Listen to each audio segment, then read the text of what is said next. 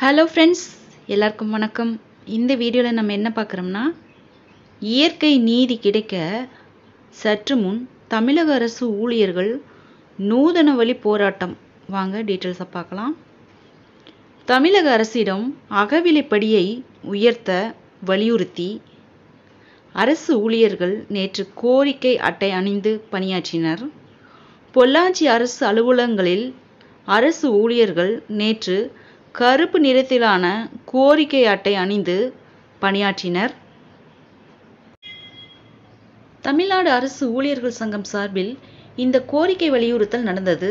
அதில் சமூக நீதி அடிப்படையில் அகவிலைப்படி வழங்குவது என்ற இயற்கை நீதிக்கு புறம்பான அரசின் நிலைப்பாட்டை கண்டிப்பதாகவும் மத்திய அரசு வழங்கியதைப் போல் கடந்த ஜூலை ஒன்றாம் தேதி முதல் பதினோரு சதவீத அகவிலைப்படி வழங்க வேண்டும் என வலியுறுத்தியும் வாசகங்கள் இடம்பெற்றிருந்தன.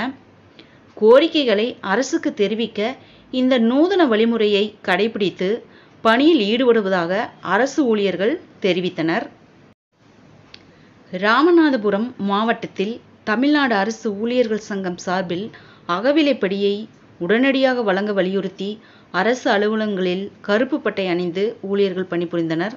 அது மட்டும் இல்லாமல் ராமநாதபுரம் மாவட்ட கலெக்டர் அலுவலகம் ஊராட்சி ஒன்றியம் தாலுகா அலுவலகம் நகராட்சி அலுவலர்கள் நகர்ப்புற சுகாதார நிலையம் அலுவலர்கள் சத்துணவு அங்கன்வாடி பணியாளர் உள்ளிட்ட அரசு ஊழியர்கள் பலர் கருப்பு பட்டை அணிந்து பணிபுரிந்தனர்.